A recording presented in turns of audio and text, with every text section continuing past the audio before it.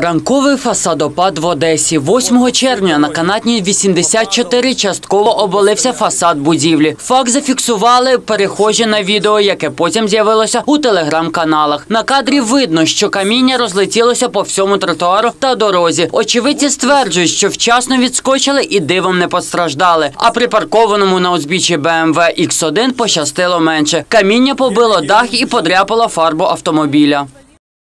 Вот тут вот стояли, вот тут вот. На машину вон крышу пробило. Жесть.